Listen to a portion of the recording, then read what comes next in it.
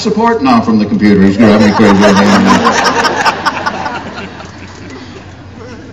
they all can't be diamonds. Come on. All right, you're going to like this one, I think. Here's a fact of life. We all like to make fun of the redneck that has seven cars up on blocks in his yard. But but here's here's this guy's thinking. He he doesn't get rid of him because he thinks there's something out there on one of those cars that he's going to need one day, and he doesn't want to get rid of them. And and every single one of us here tonight has some of that in us. Every oh single person here has got a junk drawer in their house. Oh, and I bet I can tell you what is in that junk drawer.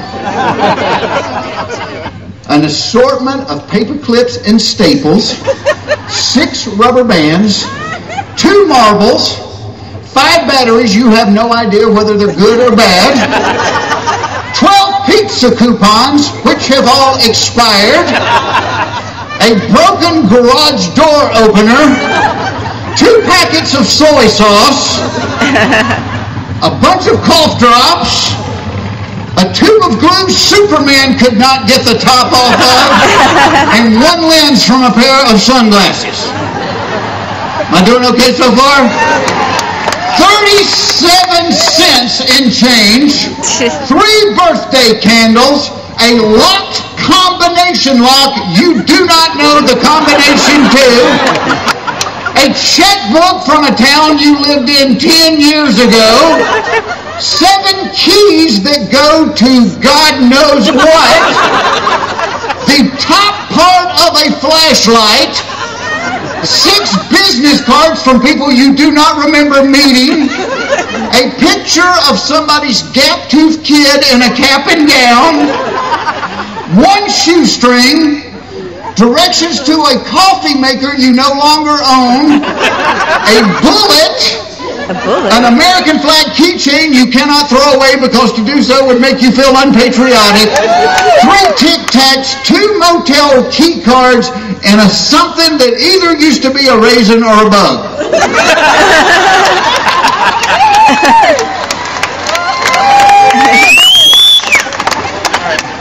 We all have that in our house. We've got that in us. That's, that's why we buy storage bins.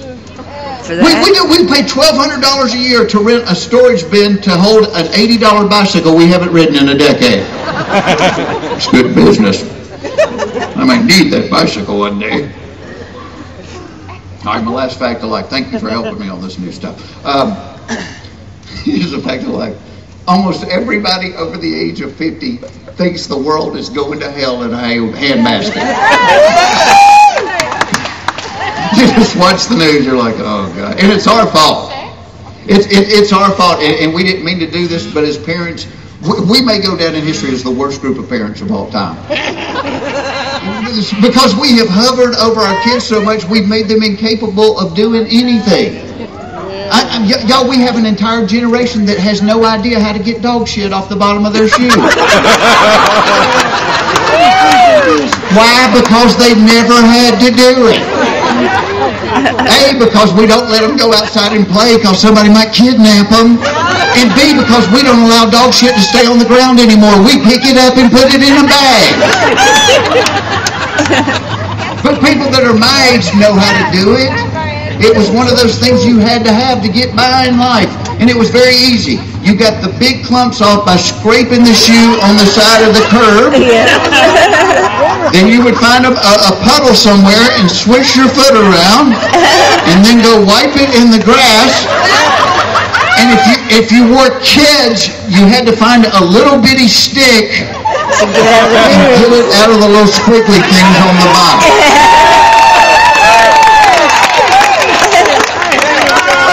Well, because you knew your parents weren't going to buy you another pair of tennis shoes and you'd be wearing those, you know, you didn't want to be Stinky McGee for the rest of your life. Stinky McGee. Free for high pressure. I have a weird brain, I will admit. And I, and, and I will say this, uh, talking about smarts, um, I am coming up next week, I think it's next week, God, it better be next week. Um, I will have been married for 27 years to uh, the same woman. And, uh, birthday And, and I have learned so much from this girl uh, over 27 years. But then probably the biggest thing I've learned, talking about smarts, I have learned beyond a shadow of doubt, women are smarter than men. It's not really that big a deal.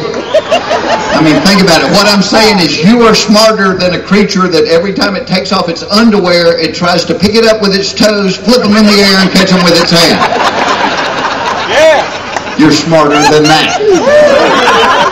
It is a good feeling when you catch them on the first try. right? Jeez. One of the ways women are so much smarter than men is, is communication. And I've actually studied this. They, they say between the halves of the brain there are communication bridges. And in women, boy, it's like an eight lane superhighway. And in men, it, it's like a little dirt path. You know, scientists have proven in the course of an average day, the average man uses around 25,000 words. The average woman uses almost 40,000 words. That's 15,000 more words every day than a man. And guys, now that you know this, it should explain why your life's unfolding the way it is. When you come in and you see her and you're like, hey, how was your day? How was my day? Let me tell you, mister, it's been one big zoo around here, and I finally had enough. I sent the kids upstairs. I told them I didn't want to see them again until dinner time, and I don't know why they're acting this way.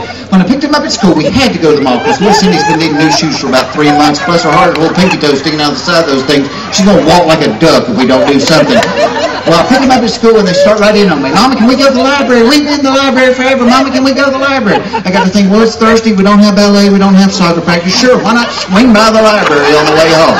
Well, we run in the library, and you're never going to believe who we ran into. Sue Hawkins. Remember Sue Hawkins? We sat next to her and her husband Dan at the Christmas pageant three years ago.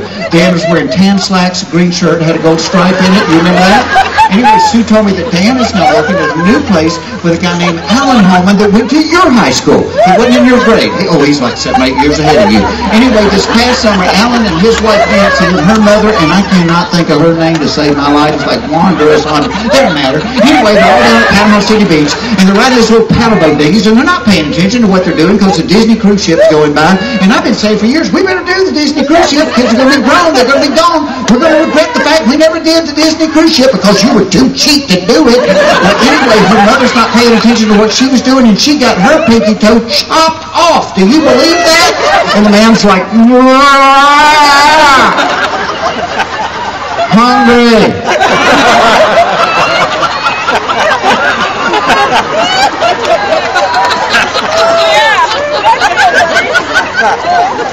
Oh, God. And not only do women use more words, their words don't even mean the same things as men words. So men are confused all the time. Sometimes men and women can say the exact same thing to each other and get totally opposite responses. Like a woman can say to a man, I'm not wearing any underwear. Man's first thought is, all right, you might get lucky. But if a man says to a woman, I'm not wearing any underwear. Her first thought is, oh no. I'm to have to wash those pants twice.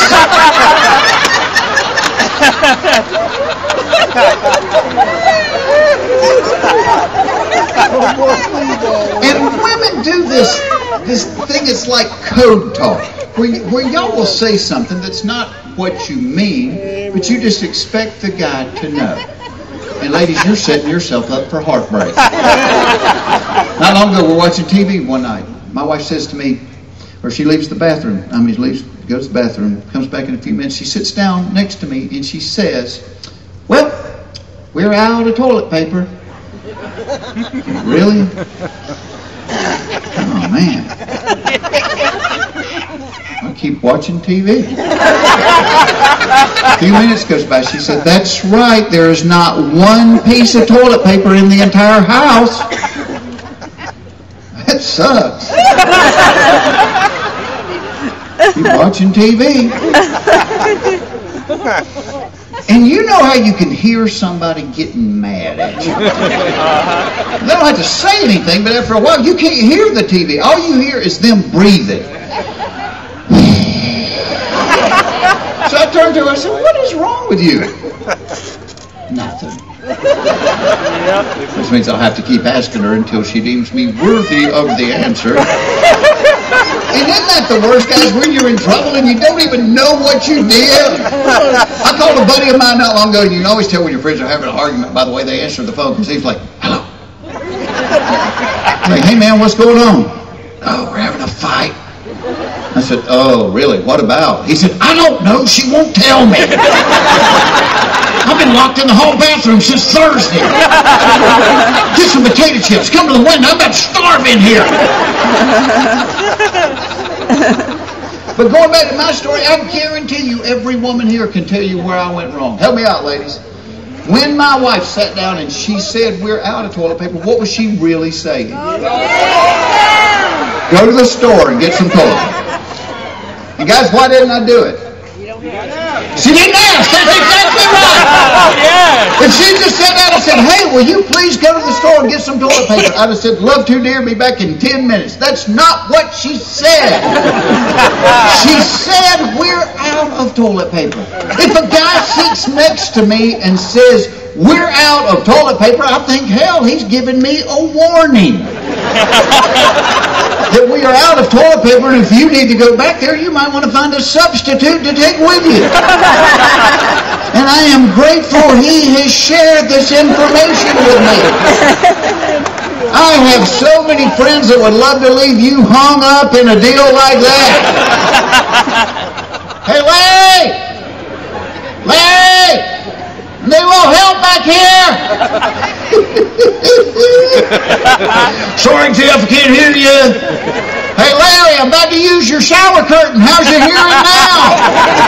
Well, hold on. I think there's some carpet remnants out in the garage. Hold on.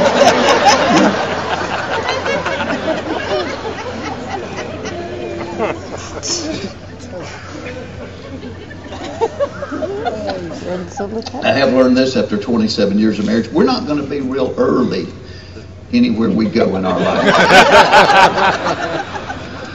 Kind of learn that. You can have a wife with great looking hair, or you can be on time. But you can't have both. You know, when we get ready to go out, that's the four words I dread the most. Coming out of her bathroom. I hate my hair! Well, I'll just call and tell them we ain't coming. Never do you, do you hear men say, I hate my hair. Because as long as it's still there, we like it. And we're not going to say anything ugly about it that might make it get up and leave. And the older I become, the more I'm convinced men's hair does not actually fall out. I truly believe it just goes back in and comes out other places. Follow me down this road just a minute. When I was a little kid, I never had a nose hair. Not one nose hair. Not long ago, I plucked a nose hair and I saw my hairline recede just a little bit. Because they're going back in and they're coming out other places. Like ears. You ever see old men just have ears full of hair?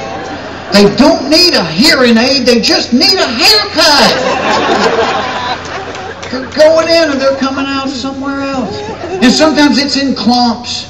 Sometimes it's a long, stray solo hair. Like you ever stood in line behind a guy wearing a tank top that had one of those long strays on his shoulder and you're behind him going, holy cow. You think he knows that's there? Look at the length on that thing. You can pull a truck out of a ditch with a hair that long. They're going in and they're coming out somewhere else. Like eyebrows. Lord, by the time men are 60, our eyebrows look like azalea bushes. Cut me, Mick. I can't see nothing. Cut me. And women, the older y'all get, the more your eyebrows just disappear. Like everybody has an aunt. You'll see her every year at the family reunion. She doesn't have eyebrows anymore. She just draws them on every morning. Always looks like she's just seen a rat.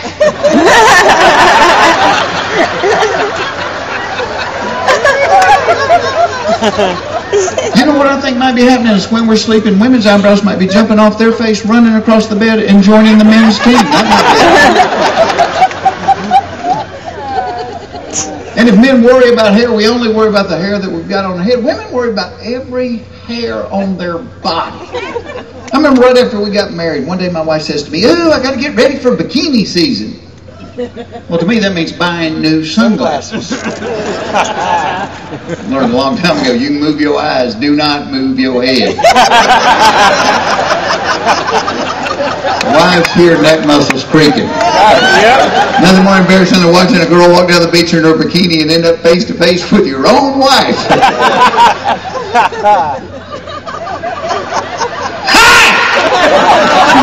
I was just thinking we should ask her to babysit for us today. Shouldn't? You and I go out, have a nice lobster dinner, maybe I'll buy some new jewelry. You like jewelry, don't you? I buy a lot of. But I found out what my wife was talking about when she said she had to get ready for bikini season. She was about to go have a procedure done to her that they call a bikini wax. And to hear her describe this horror, apparently she paid somebody, paid somebody to pour lava hot, scalding wax on her inner thighs. And then the two of them chatted for a little while until the wax had dried. Then the woman grabbed the wax and yanked the hair out. If you ever hear of somebody doing this to me, rest assured there was a gun to my head. Because you yanked the hair out of my inner thigh, I will tell you where my grandmother hides her money.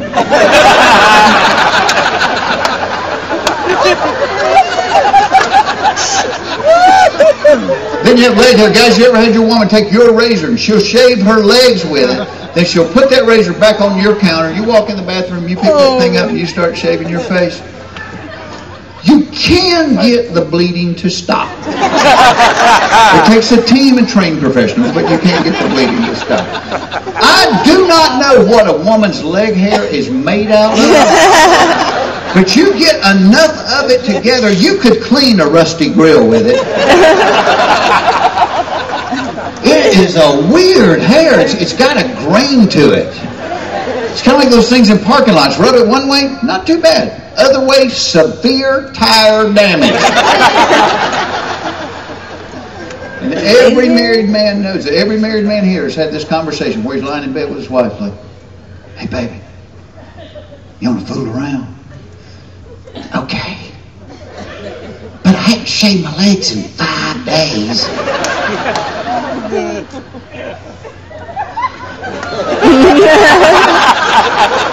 okay. We just wait.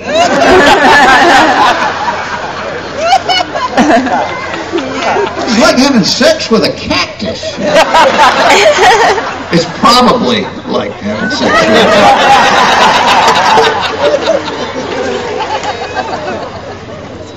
Don't know that for a fact.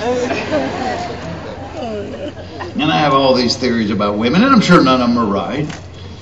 But I have learned women have just as many theories about men. You know the most common theory I've ever heard that women have about men? You've heard it. I've heard it everywhere I've ever been. It goes like this. Well, if he's got big feet, then you know. Or if he's got big hands. Or if he's got a big nose. If he's got big ears. I tell you what, he better be packing because that's one goofy looking guy right there. and silly as it is, men worry about this stuff. And ladies, you've actually come up with sayings to reassure us.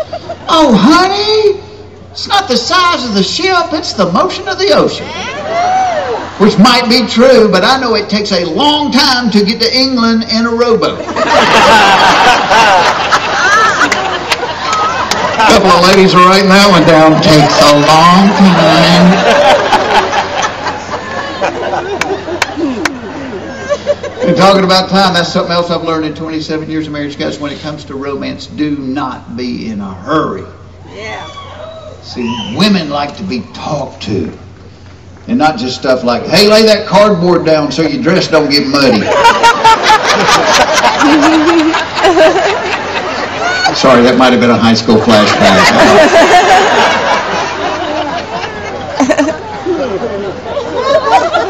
you can't be in a hurry, see, because when it comes to romance, see, women are like diesel engines. And by that, I mean, it might take a little while to get them warmed up.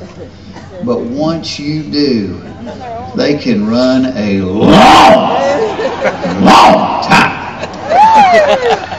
Whereas men, on the other hand, see, men are more like bottle rockets.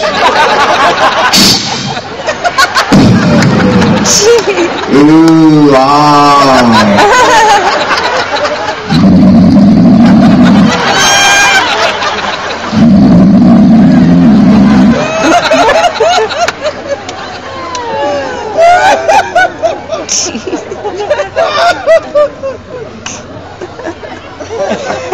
This guy's going, it's not that funny. Now stop.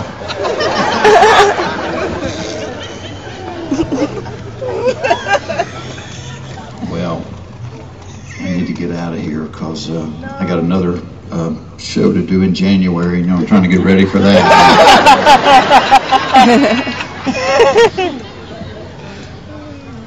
Thank you for uh, for listening to new stupid ideas out of my head there. Yeah. And, and, and I will, and I will tell you this about being over fifty, and, and I mean this sincerely. One one of the coolest things about this job, I never I never had been anywhere in my life until I started doing comedy, and because of comedy, I've been to all fifty states, been to every part of all fifty states, and and and I've been very blessed in that I've gotten to do a lot of different things, whether it was calendars or books or whatever. But if, but if you ever put a gun to my head and said you can't do but one thing, this would be it. I, I love doing this. Because it's like sometimes you, you don't know if it's just you and your crazy family. And then I come out here and I say it and I see y'all go, oh, thank God it's not just us. But, but, but you've allowed me to, to, to make a great living doing something I would have done for free. I hate to tell them that. But, uh, thank you. And I, and I know, uh, man, I know, I know the economy's tight and, and entertainment dollars are kind of hard to find. I hope you had a good time tonight. Uh, So, sometimes you just gotta. I always say laughter is that release valve that keeps the boiler from exploding. Sometimes you just gotta laugh a little bit, but but. All right, well, we, we will end that way. We will. Uh, I couldn't come all the way out here without doing one or two ways I had to tell how you might be a redneck. So. Uh, oh, and by the way, if you're gambling tonight, they've already paid me, so take every dime they got. If you have a complete set of salad bowls and they all say Cool Whip on the side, you might be a redneck. Haven't seen that in a long time. If you take your dog for a walk and you both use the tree at the corner, you might be a redneck. If an episode of Walker Texas Ranger changed your life, you might be a redneck. If you keep a fly swatter on the front seat of the car so you can reach your kids in the back seat, you might be a redneck. If your working television sits on top of your non-working television, you might be a redneck. If you've ever been accused of lying through your tooth, you might be a redneck. If you think a 401k is your mother-in-law's bra size, you might be a redneck. If your son's name is Dale Jr. and your name's not Dale, you might be a redneck. If you work without a shirt on, and so does your husband, you might be a redneck. You might be a redneck. If your neighbors think you're a detective because a cop always brings you home, you might be a redneck. If you've ever emptied the bed of your pickup truck by driving backwards really fast and slamming on the brakes, you might be a redneck. If you think fast food is hitting a deer at 65 miles an hour, You might be a redneck. If somebody tells you you have something in your teeth and you take them out to see what you might be a redneck. If you ever stared at a can of orange juice because it said concentrate, you might be a redneck. If somebody hollers hoedown and your girlfriend hits the floor, you might be a redneck. God bless you. Be safe. Thank you so much, y'all.